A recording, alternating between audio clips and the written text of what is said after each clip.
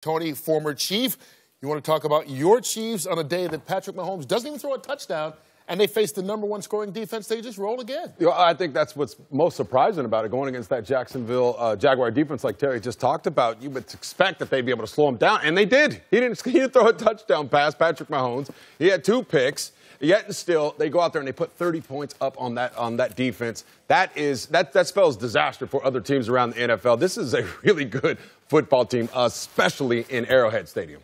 And, you know, I, I kind of look at that Giants game against Carolina Panthers, just seeing how they were going to respond. Because they had a big week. I mean, Odell Beckham came out, everything kind of hit and said, hey, I don't know if this person's responsible, that person's responsible. I don't know if I'm happy in New York City.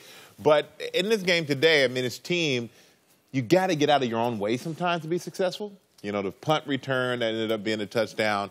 Eli had his he had the two picks where it looked like he just picked it up and threw it Bad without pitch. looking Bad in the coverage. yeah. And if they can get out of their own way, you have a good chance of winning. And right now, they're in a hole. They got to dig themselves. And Pittsburgh's defense has been under fire all season long. They hold Atlanta's high-powered offense at 17 points. T.J. Watt three sacks, six on the season. And the interesting thing on that final drive for Carolina, McCaffrey runs for what appears to be a first down. It signaled a first down.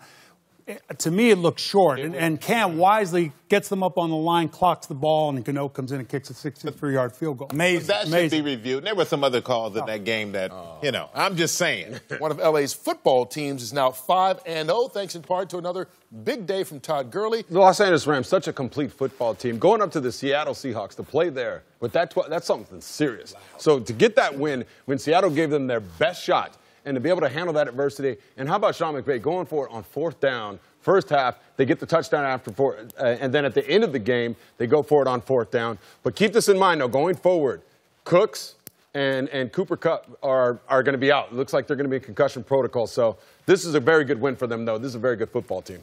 Yeah, they had 10 days off after that game on Thursday Night Football here on Fox against the Vikings. They win in a close game down the stretch. Same story for the Vikings, who were victorious today in Philadelphia. Kirk Cousins, to me, is is one of the more underrated players in the league. You know, uh, Making que- 84 million. People, people questioned him in Washington. people about questioned money. the contract in Minnesota.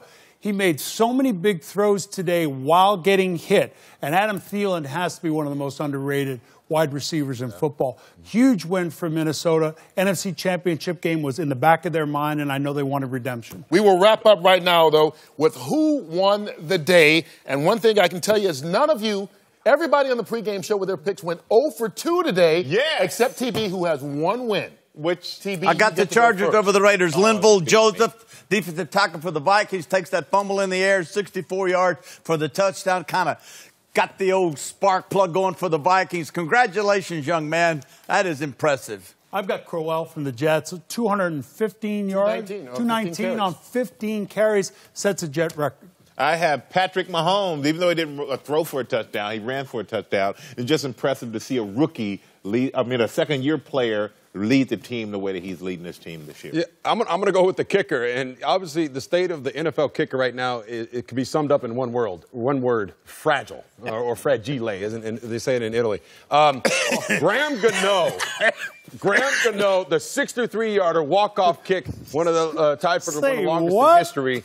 He gets the game ball, winning the game. Real quick, Mayfield, he made that- Allen, Darnold, Rosen, all first round picks, all won today, first time in NFL history. Four rookie quarterbacks have ever won on the same day.